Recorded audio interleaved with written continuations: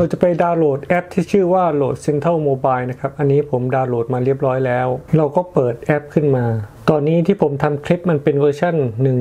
1.0.29 สังเกตที่ด้านล่างของแอปนะครับ เขาบอกว่าให้เชื่อมต่อกับตัวอุปกรณ์ อันนี้เป็นสายของ Apple โดยตรงเลยนะครับ USB Type C มายังพอร์ต Lightning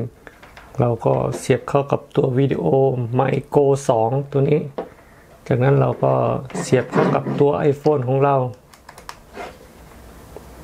ไม่มีปฏิกิริยาอะไรเลย สายของโหลดเองนะครับเป็น S45 ที่เราแกะกล่องไปก่อนหน้านี้ ผมก็เชื่อมต่อตัวพอร์ต USB Type C นะครับกับตัววิดีโอ Micro 2 ตัวนี้ เสียบเข้าไป จากนั้นผมก็มาเสียบผ่านตัว iPhone ของผมนะครับก็สังเกตนะครับจะเห็นไฟขึ้นมาตรงนี้เห็นไหมครับ จากนั้นนะครับผมปิดแอป แล้วก็เปิดแอปมาใหม่นะครับ มันก็จะขึ้นหน้านี้ขึ้นมาให้เราอัปเดตนะครับ แล้วก็กดอัปเดตก่อน เสร็จแล้วก็แตะคำว่าดัน จากนั้นมันก็จะแสดงหน้านี้ขึ้นมา เห็นไหมครับ มันก็จะเป็นรูปของวิดีโอไมโ o 2นะครับ ถ้าเราเอาเป็นตัววิดีโอไมโ o ที่เป็นไวเลส มันก็จะเป็นรูปของไวเลส ถ้าเป็นพวกไมเอ็นทีต่างๆ ของทางโหลด มันก็จะเป็นรูปของ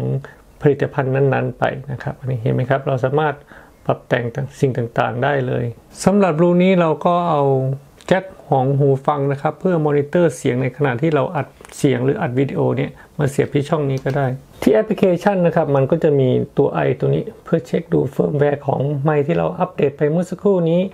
ปิดกากบาทตรงนี้ เพื่อกลับไปที่หน้าตั้งค่า มันก็จะมีการปรับได้อยู่ 3 ตัวนะครับ ก็คือการเพิ่มระดับของเสียงขึ้นมาอีกระดับหนึ่งเป็น FPS Boost นะครับก็ได้ประมาณ 10 dB นะครับแล้วก็กดปิดไปเปิด ปิด ตัวนี้ปรับได้สองค่านะครับ คือเรื่องของความถี่ แต่หนึ่งครั้งจะเป็น 75เฮิรตซ์แต่อีกหนึ่งครั้งจะเป็น 150เฮิรตซ์แต่อีกหนึ่งครั้งก็จะเป็นออฟเห็นไหมครับ อันนี้ตัวแพดก็เหมือนกับการหยุดเสียงนะครับ การไม่รับเสียงก็คือมิวเสียงนั่นเองนะครับ กดหนึ่งครั้งก็ออนก็จะไม่มีเสียงอะไรเข้ามาเลย กดอีกหนึ่งครั้งก็ออฟก็จะมีเสียงเข้ามา จากที่เราเชื่อมต่อตัวหูฟังเรียบร้อยแล้วนะครับ อย่าลืมมาเปิดตรงนี้นะครับ มาเปิดตัวนี้ก่อนให้มันเป็นออนก่อน เราถึงจะได้ยินจากเสียงไมค์ผ่านตัวช่องทางของตัวพอร์ตนี้ไปที่หูฟังของเรา แล้วค่อยไปเปิดโปรแกรมที่ใช้ในการบันทึกวิดีโอต่างๆนะครับ ถ้าเราไม่เปิดออนตัวนี้นะครับ เวลาเราไปบันทึกด้วยโปรแกรมบันทึกวิดีโอ เราจะไม่ได้ยินเสียงผ่านมาทางช่องนี้นะครับ แต่เสียงเข้าอยู่นะครับ แต่ว่าเราไม่ไม่ได้ยินเสียงผ่านทางช่องนี้ ดังนั้นอย่าลืมมาเปิดตัวอ่อนก่อนถ้าอยาก